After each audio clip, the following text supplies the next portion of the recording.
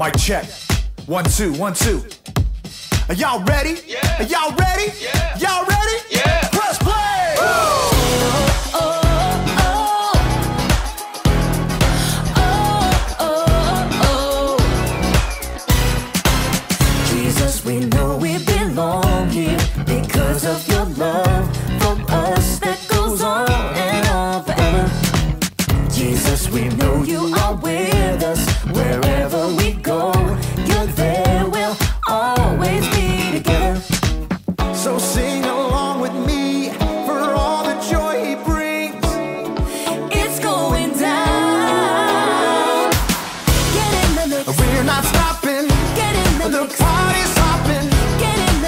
Everybody say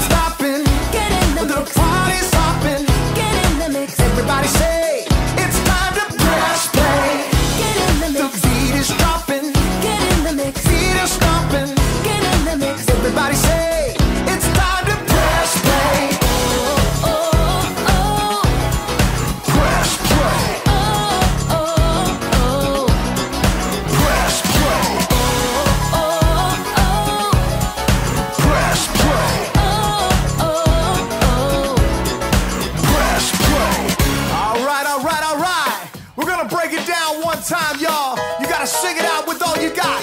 Y'all ready? Uh, come on, come on. Clap your hands like this. Have confidence to get in the mix. Clap your hands like this.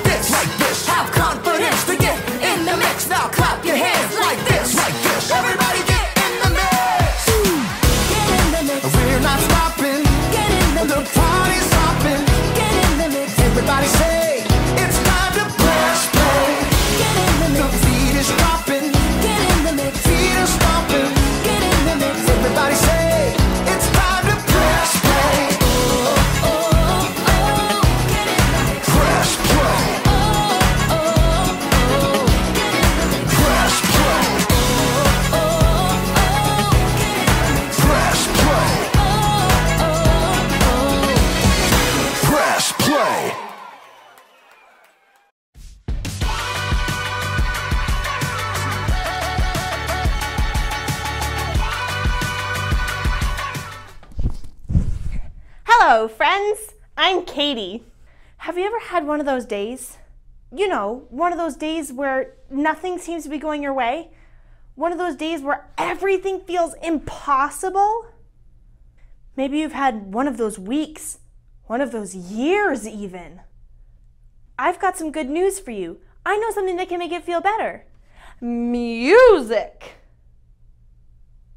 No, really. Whether you're feeling sad or upset, music can help you give you confidence. Confidence is learning to see yourself the way that God sees you. Here, I'll show you.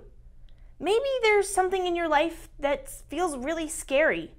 You just put on some music.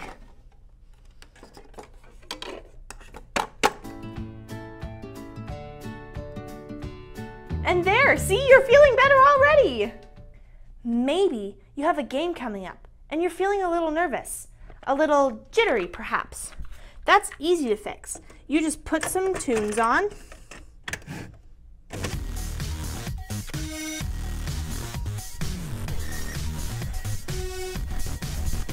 And you'll be ready for the game in no time. Or maybe you're just feeling down. You could sit around in your room all day moping, or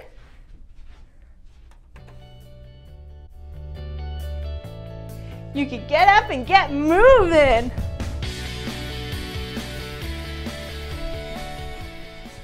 See, music can help. And there's so many different kinds of music to choose from. You'll have plenty of options when things feel impossible. Today's story is about how God deals with the impossible. I think it might be impossible for me to get out of this, so I'll see you later once I figure it out. The Bible. It's 66 books of history, stories, letters, and poetry that fit together to form God's one big story. The epic adventure of how He created us and loves us so much that He made a way to rescue us. As we travel through the Bible, from Genesis to Revelation, we discover people who met God and found their lives changed forever.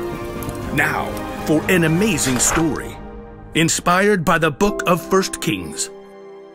Chapter 18.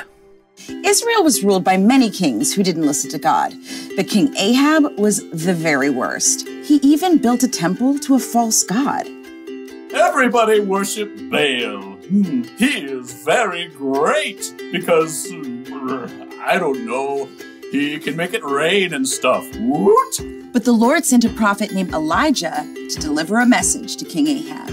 As the Lord lives, there will be neither dew nor rain in the next few years, except at my word. You pipsqueak. Baal can make it rain. Also, off with your head.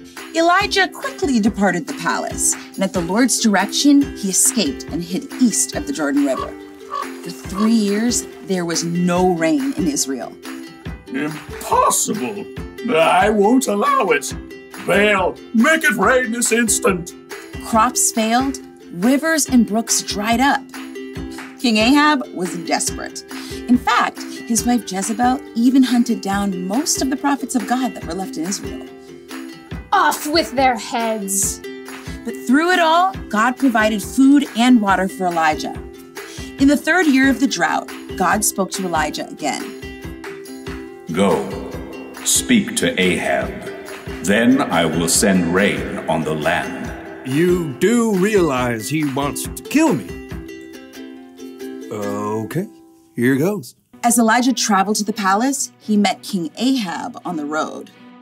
Is that you, you troubler of Israel? I haven't made trouble for Israel. You have. Yeah, well, I'm rubber your glue. Whatever you say bounces off me and sticks to you. You've abandoned the Lord and followed Baal. What else? He's more popular. You want a showdown? Fine. Gather all the people and meet me on Mount Carmel. Oh, oh, and bring all the prophets of Baal. Oh, you're on. King Ahab sent a message throughout the land, and the Israelites gathered on Mount Carmel, along with 450 of the prophets of Baal. Uh, how long will you go back and forth between two opinions? if the Lord is God, follow him. But if Baal's God, follow him. I'm the only prophet of the Lord left, but Baal has 450 prophets. Hey, get two bulls for us.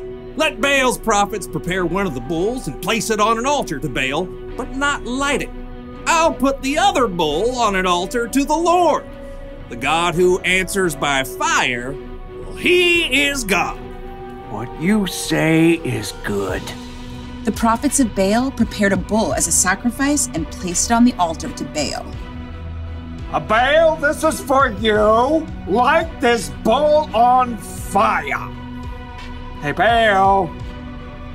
Answer us. From morning until noon, the prophets of Baal danced around the altar, calling on their false god. hey, shout louder. Uh, maybe he's asleep or, or on a trip. The prophets of Baal danced harder and shouted louder all through the afternoon, but there was still no answer. At last, Elijah stood up. Enough! Come here to me. Elijah took 12 large stones and rebuilt an altar to the Lord. Then he took the bull and sticks of wood and placed them on the stones and dug a deep trench around the entire altar. He turned to several of the Israelites and said, Fill four large jars with water and pour it on the offering and the wood. You do know wet wood doesn't burn, right? Just do it. Now do it again. Do it a third time. The wood became so wet, water even flowed down the altar and filled the trench. Lord, the God of Abraham, Isaac, and Jacob, let everyone know that you are the one true God. Answer me, Lord, so these people will know that you are God and that you are turning their hearts back again. There was a long moment of silence. Everyone waited, breathless. And then, fire fell from heaven onto the altar and instantly burned up the wet wood and the sacrifice, even licking up the water in the trench. The people fell on their faces. The Lord is God!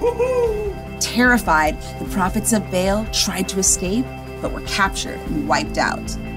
Elijah turned to King Ahab. Go, eat and drink, for there is the sound of a heavy rain. Though the sky was completely clear, in a short time a tiny cloud appeared. More clouds joined the first. They turned dark and black. The wind rose, and fat drops of rain splattered onto the dry earth for the first time in three years. Filled with God's strength and joy, Elijah raced ahead of King Ahab's chariot to the city. God had done the impossible.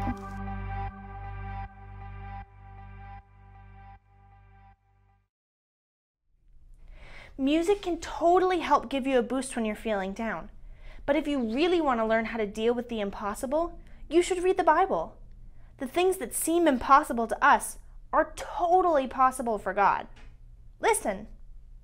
God sent fire down from heaven. He parted the Red Sea.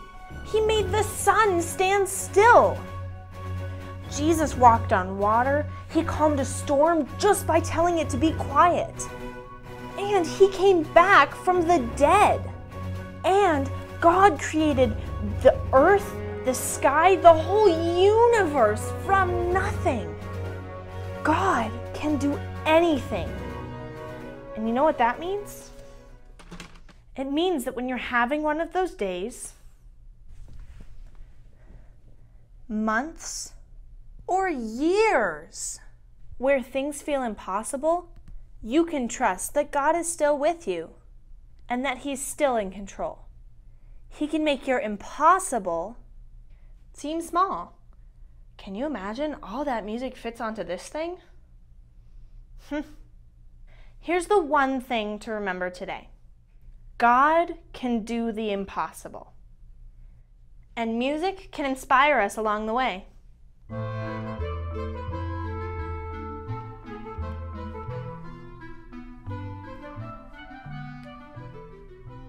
See you next time.